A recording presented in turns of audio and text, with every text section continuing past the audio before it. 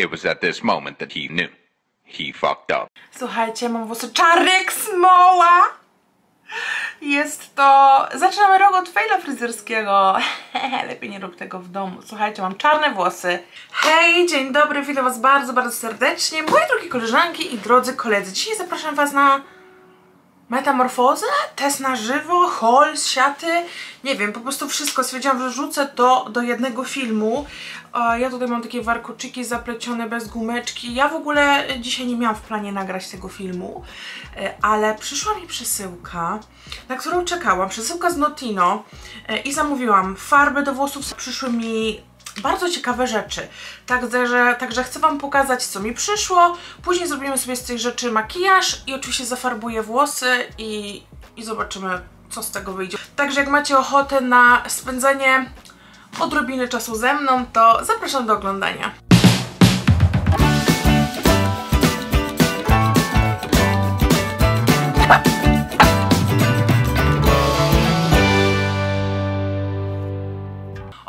Ogólnie to gadałam sobie z siostrą i zaczęłyśmy gadać coś tam o hennie. No i ona mówi, słuchaj, ja mam bardzo fajną hennę do polecenia z, z Joanny, nie wiem, z Hean, czekajcie, zaraz wam powiem z czego, bo ją właśnie znalazłam. E, z Deli, o sorry, Deli, mówi, że fajna, w jakimś, z jakimś takim pędzelkiem, tak ona wygląda. Ja mówię, dobra, wyślij mi zdjęcie, e, ja zobaczę, może gdzieś na eBayu będzie. No i wpisałam sobie w Google właśnie tą Delię Instant Eyebrow Tint i wyskoczyła mi propozycja na Notino za 2,40. W sumie myślę, okej, okay, idę i sprawdzę, co tam mają. I powiem Wam, że ja nigdy w życiu z Notino nic nie zamawiałam. Bardzo często Wy polecałyście mi właśnie Notino. Ja nawet nie wiedziałam, że angielskie Notino ma tyle polskich produktów. E, I jak zaczęłam sobie szperać, stwierdziłam, dobra, to może poszukam Anwen, poszukam innych rzeczy. No i kupiłam sobie e, kilka fajnych produktów, które sobie dzisiaj też przetestujemy. No i oczywiście e, będzie też henna, ale weszłam też w sekcję profesjonalnych farb do włosów i znalazłam e, farbę L'Oreal Professional i kupiłam w odcieniu 4.3, e, czyli jest to ciepły brąz. A czemu to jest napisane cool cover? Golden brown, ok. Aha, że przy, przykrywa się we włosy. Także zamówiłam tą farbę, dlatego że już jest u mnie czas na toner. Ja przedłużyłam, ja miałam mieć wizytę w e, grudniu, ale zanulowałam ją, dlatego że tonowałam sobie włosy tym rudym szamponem, możecie kojarzyć. Ten rudy szampon mi się już wypłukał, e, ale no jeszcze tam jakieś resztki są, ale pora właśnie na zmianę. Mam tutaj kilka oksydantów, zamówiłam farbę, nawet nie wiem czy ta jedna mi wystarczy, bo zamówiłam tylko jedną, 50 ml. E, tutaj jeżeli chodzi o oksydant, to mam 6% volume 20 i mam również oksydant 2% volume 7 i użyję sobie tego 2%, e, bo właśnie jeżeli chcecie, e, jeżeli chcecie stonować włosy, czyli ten, żeby ten efekt był e, nie permanentny, tylko żeby było tam 6 do 8 myć, no to właśnie powinno się używać tych e, mniejszych, niższych, niższych stężeń. No jeszcze tutaj sobie właśnie też czytam na necie, czyli właśnie takie farby, które będą tonerem, będą wymagały e, niższego stężenia aktywatora, zwykle pomiędzy 1,9 a 4%. Więc tutaj mam dwójkę i mam nadzieję, że wyjdzie. A jak nie wyjdzie, no to trudno, ale stwierdziłam, że zrobię sobie teraz właśnie troszeczkę wytonuję przyciemnie, bo już mi się tutaj spukała ta farba. Na razie nie chcę rudego, już nosiłam przez parę miesięcy, także tu będziemy sobie lecieć i zanim nałożę tą farbę, to pokażę Wam właśnie co zamówiłam, bo były produkty z Anwen, także wzięłam sobie emolientową różę, która mi się już dawno skończyła, więc tutaj mam jedną rzecz z Anwen.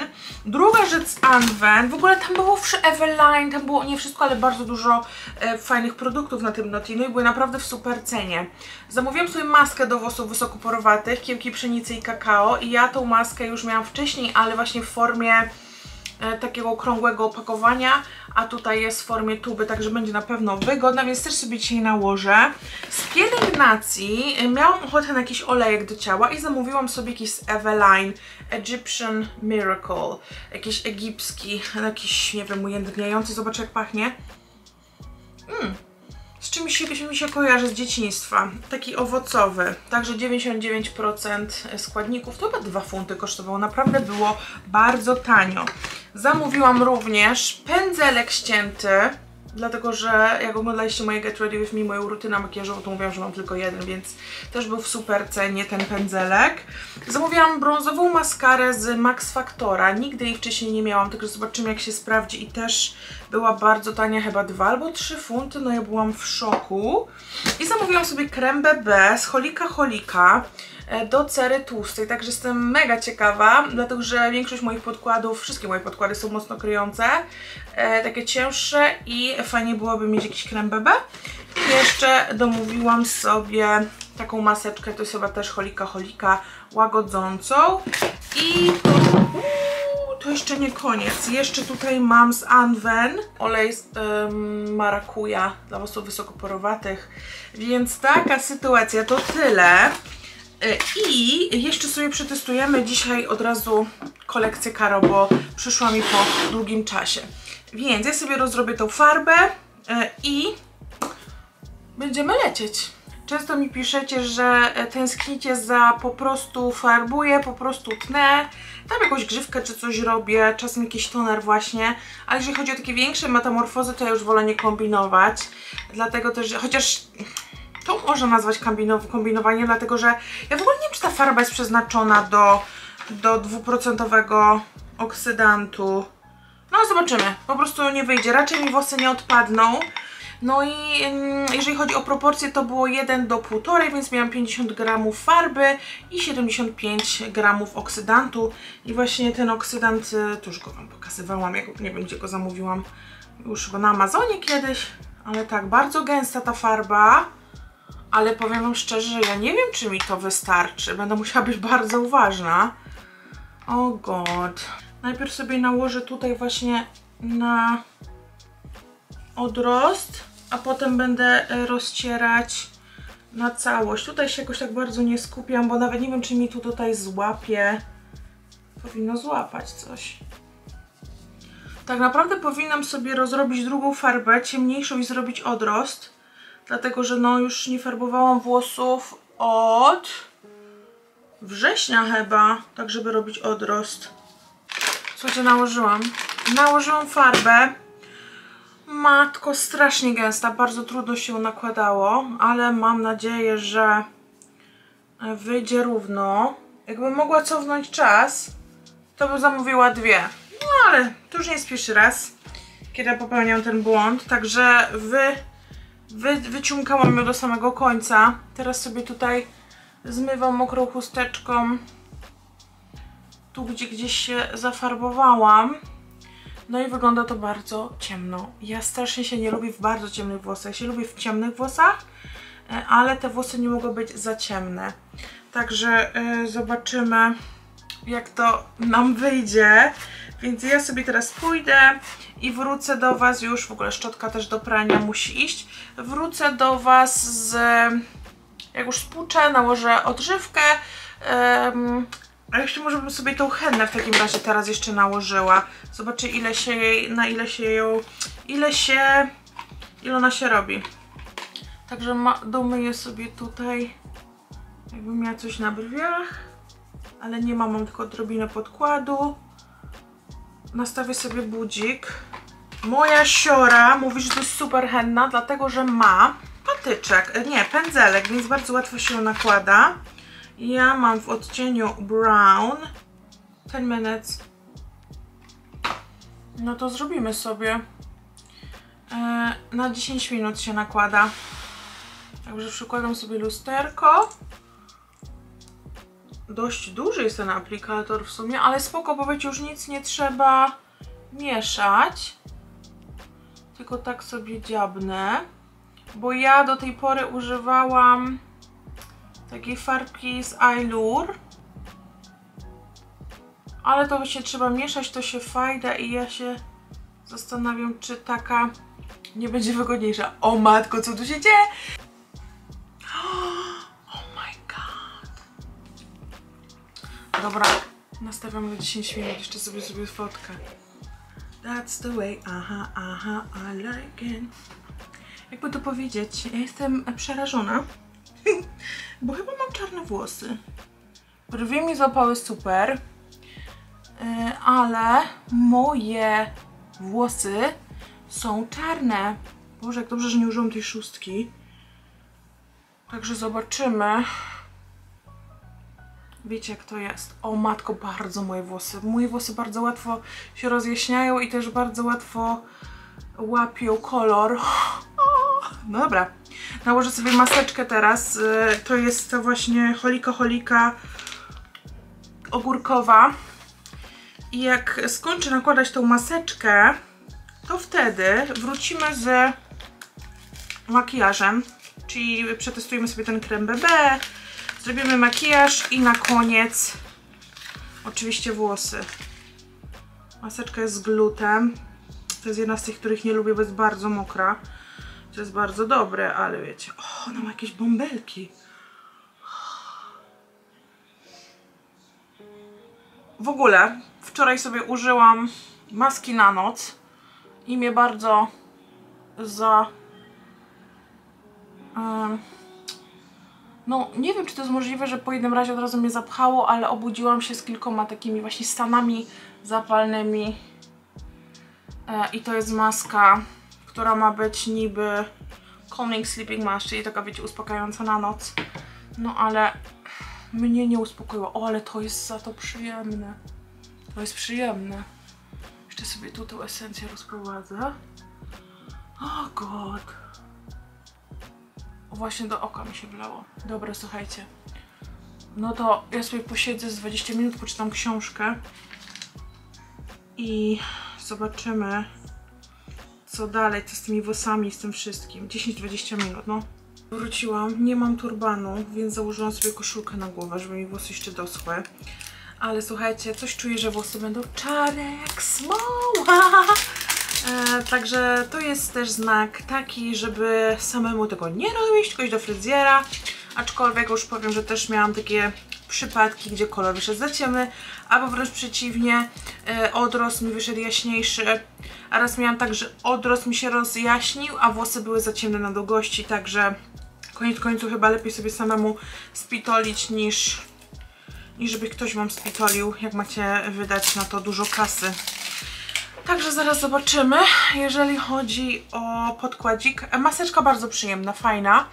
E, Nałożę sobie ten krem BB z Holiki. Mm, Miał dobre opinie, bo wyszłam sobie właśnie filtry i kremy BB i em, ustawiłam filtry na najlepsze opinie i e, wyświetlił mi się krem z Holiki, ale inny. Mm, Ale potem zauważyłam, że mają też do, do cery właśnie takiej tłustej, więc spróbujemy sobie tego do cery tłustej. Jest dość ciemny, ale przynajmniej nie jest taki szary. Oh my god, jakie krycie! Więc sobie zrobimy i nałożę to, ten krem dłońmi. Nie uwierzycie, ale pachnie jakimś kremem. Takim kremem, taki krem a la Nivea albo Dove.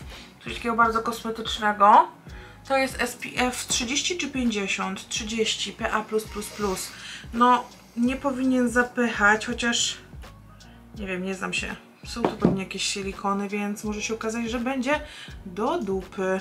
No ale jak nie spróbujemy, to się nie dowiemy. Ale fajny był gęsty, ja lubię takie gęste kremy BB. Nie lubię tych takich bardzo rzadkich. Okej, jedna warstwa. Myślę, że bardzo ładnie wygląda. Pokażę Wam z bliska. Bo to nadal wygląda jak skóra. Ale fajnie rzeczywiście wyrównało. Może sobie troszkę dołożę, ale nie dużo. Tylko tutaj na policzki, bo tu mam też zaczerwienione i może bardziej sobie tak wklepię.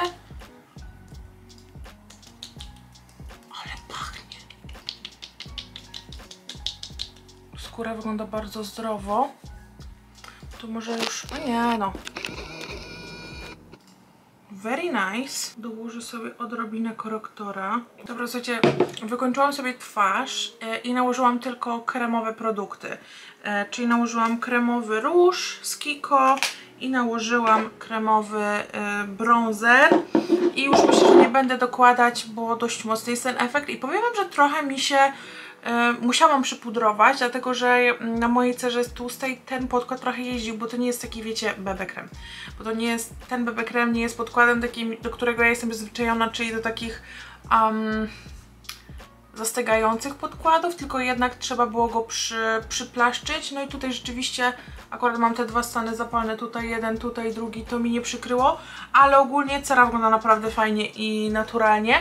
I teraz e, się przybliżę i sprawdzimy sobie tusz do rzęs, ale zapomniałam sobie zrobić kreseczek, więc czekajcie, jeszcze tylko kreseczki to maluję. No i teraz tusz. Nałożę sobie bez bazy, żeby zobaczyć jak on wygląda, ale kwestia jest też taka, że u mnie bardzo często tusz do rzęs sprawdza się dopiero po jakimś czasie. Na początku z reguły one zawsze są do mnie za mokre, ale widzę, że szczoteczka jest taka gumowa, więc to jest coś, co ja lubię. Czekajcie, lustereczko.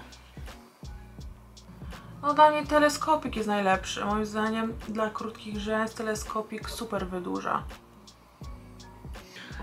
Tak wyglądają dwie warstwy tego tuszu, więc y, no spoko, tyłka nie urywa, ale nie jest najgorzej. Także zużyję, ale może jeszcze jak trochę doschnie, to będzie, to będzie lepszy. Teraz coś bardzo przyjemnego, dlatego że w końcu dotarła do mnie przesyłka od Karo z jej współpracą z Hean. Mamy tutaj rozświetlacz i mamy tutaj błyszczyk, e, także sobie e, spróbujemy, zrobimy test na żywo. Akurat błyszczyk już sobie raz użyłam, bo nie mogłam się oprzeć, także zaraz Wam coś powiem na jego temat, ale tego rozświetlacza jeszcze nie widziałam. Także Karo, gratuluję Ci oczywiście swojej kolekcji z Hean i tutaj widzę, że też nakładaj suchą do makijażu prezent od Boho Beauty. Tutaj też dostałam w prezencie gąbeczkę. Boho Beauty ma super gąbeczki. O, to jest kamaciupcia. Ok, suchą gąbeczką. Ja może wiem, że powinnam nałożyć, tak jak Karo tutaj mówi, ale hmm, może moją gąbeczką po prostu użyję, nie wiem, ale dobra, przejdźmy do, tej, do tego zestawu. Fajnie, że Karoli udało się coś stworzyć na każdą kieszeń, coś drogeryjnego. Tak wygląda rozświetlacz. E, on jest w kartonikowym opakowaniu. Tutaj na, mm, na tym, w tym opakowaniu, jak ja bym tak spojrzała, to bym mogła powiedzieć, że nawet to są jakieś takie róże, ale jak widziałam właśnie u Karoliny na filmie, to to jest rozświetlacz. Można sobie trzech osobnych kolorów e, używać, można wszystkie zmieszać. Z tego co widziałam, to ten rozświetlacz wchodzi w taki chłodny, a jak pomiesza się wszystkie, to bardziej taki neutralny odcień. Także zobaczymy, jak będzie na mnie wyglądać. Ja się przybrązowiłam, więc powinno być spoko. E, I przejadę sobie paluchem. Najpierw. Uuu, bardzo ładny kolor, ale to jest mocne. Ale to jest miękkie. Jakie to jest dziwne. Czy to pachnie? Nie pachnie. Ale jakie to jest dziwne. To jest takie trochę żelkowe, bardzo, bardzo miękkie. I nie wiem, czy bym tego nie nałożyła po prostu paluchem. Wow. No tutaj bardzo fajny odcień nam wyszedł po mieszaniu tych trzech. Jeżeli zwracacie uwagę na analizę kolorystyczną, to ja nie powiedziałabym, że to jest ciepły rozświetlacz, tylko to jest taki, jak pomieszamy te wszystkie trzy kolory, to tu nam wychodzi taki neutralny, szampański. Więc dla kogo będzie dobry? Na pewno, bo ten sam, to ten pierwszy to jest srebrny, czyli całkowicie chłodny, więc na, dla tych najchłodniejszych typów kolorystycznych, typu lato z podtypem zimy, zima z podtypem lata. Natomiast ten tutaj, jak już pomieszamy te trzy, no to fajnie nam wychodzi taki bardziej szampański E, czyli tak naprawdę neutralny dla większości osób. Jeżeli ktoś ma ciemną karnację, to może być na przykład za ciemny, e, ale myślę, że właśnie e, takie typy kolorystyczne typu na przykład zima z podtypem jesieni, czy lato z podtypem jesieni, coś co jest właśnie takim miksem chłodnym, ale neutralnym, no to myślę, że pomieszanie tych trzech kolorów będzie super. E, no i też mnie jakoś skrzywdzić nie powinno i ja sobie nałożę to, słuchajcie, nałożę sobie, Karola nie krzyż na mnie, ale ja sobie nałożę to moim pędzelkiem z Real Techniques. Zmieszam sobie te trzy na jednej stronie, a po drugiej stronie gąbeczką, także tu sobie lecę, bo on się właśnie sypie, to jest taka formuła. Chociaż rzeczywiście jak się go nakładam na rękę pędzelkiem, pędzelkiem ma delikatniejszy efekt. Także, dobra, nałożę sobie najpierw pędzelkiem tutaj na prawą stronę. I mam mega efekt! Wow! O wow, jest to bardzo mocny błysk.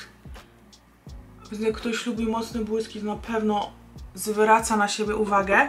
A co się stanie, jak sobie też paluchem tutaj doklepię mokry policzek. Wow. A teraz sobie użyję w takim razie tej gąbeczki. I teraz nałożę sobie ten rozświetlacz e, na gąbeczkę. Trochę odbiję od skóry i tak nałożę. Ale wolę ten efekt. Czym ja to nakładałam? Pędzlem. Oj, tutaj przesadziłam. Za dużo nabrałam. Mm -mm. Mm -mm, mm, mm. Więc trzeba uważać z tym rozświetlaczem, bo tutaj już za dużo nałożyłam, zobaczcie, jest za jasny. A tutaj jak delikatnie, to dużo lepszy efekt. Także trzeba delikatnie, no chyba, że jesteście dużo jaśniejsi ode mnie, no to nie będzie tego problemu. Zaraz sobie jeszcze to doklepię gąbeczką, ale za dużo nałożyłam. No na pewno trzeba się do tego... Wow, na pewno trzeba będzie się nauczyć używania tego rozświetlacza, ale naprawdę jest bardzo mocny i ma piękny błysk mm, i użyję sobie, ale jest mega dziwna konsystencja, ja się z czymś takim nie spotkałam, bo jest taki śliski. Dobra. I sobie zmieszam i dam na tutaj na kącik, delikatnie tylko dotknęłam i zobaczcie jak pięknie się błyszczy. Ok. I tutaj również Wow! Zobaczcie na te oczy. U mnie takiego błysku nie było. Jeszcze sobie dołożę może takim płaskim pędzelkiem. Wow! Świecisz jak miliony monet. Często mi piszecie, musisz używać y, rozświetlacza w kąciku. No to muszę. I nałożę sobie też tym płaskim pędzelkiem, tylko strzepię nadmiar tutaj, gdzie odbija światło i od łuk, tak jakby. Widziałam to gdzieś na TikToku. Patrzcie na to. Ta strona naprawdę pięknie. A nad...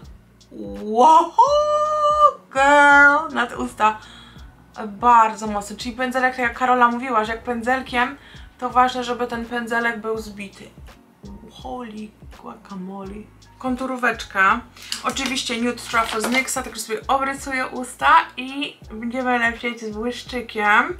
Błyszczyk również Han i błyszczyk mamy w tubce jest to, w ogóle mam wrażenie, że jestem ostatnią osobą, która to, e, to pokazuje. 10 ml, więc duża pojemność. E, vibe lat 90. bardzo mi się to kojarzy. Bardzo w ogóle mi się podoba szata graficzna. Kojarzy mi się z Kylie Cosmetics, czy tam z KKW. E, I tutaj mamy m, mm, taki błyszczyk zapachu malinowym, który jest w ciepłym kolorze.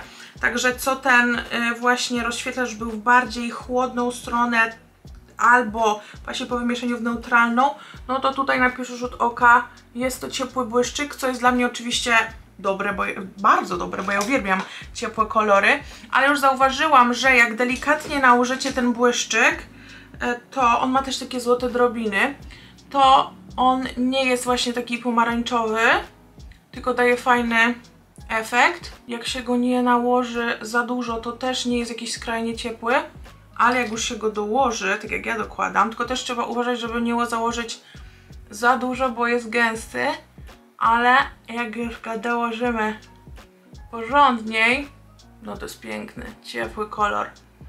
Także wszystkie panie jesienie, ciepłe wiosny, to też na pewno Wam się sprawdzi. I on ma taką gęstą konsystencję. Piękny kolor. W ogóle mój kolor. Zrobię Wam zbliżenie. O.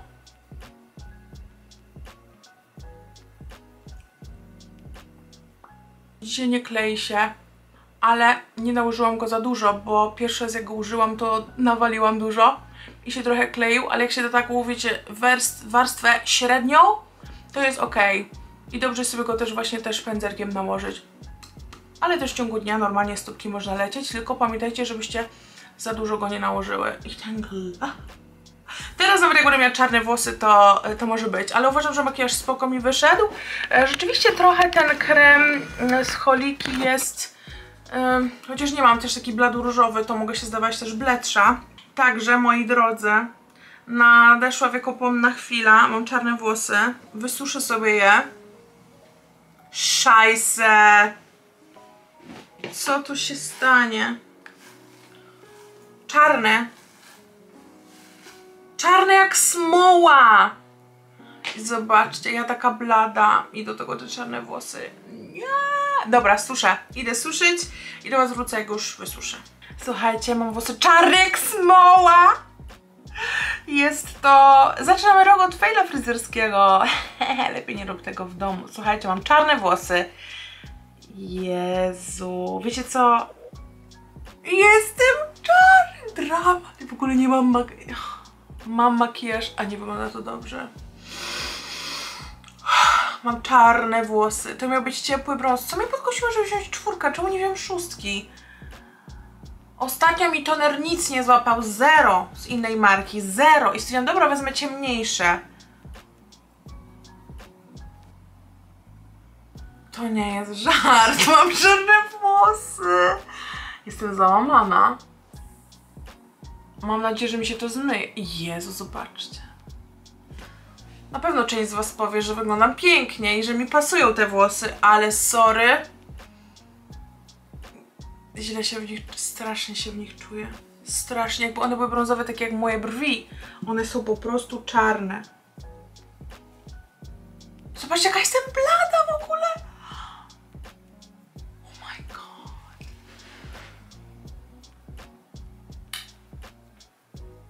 Tutaj trzeba będzie działać, słuchajcie. Tutaj trzeba będzie działać, odsłaniać twarz i się obwieszać złotem, bo to nic innego nie pomoże.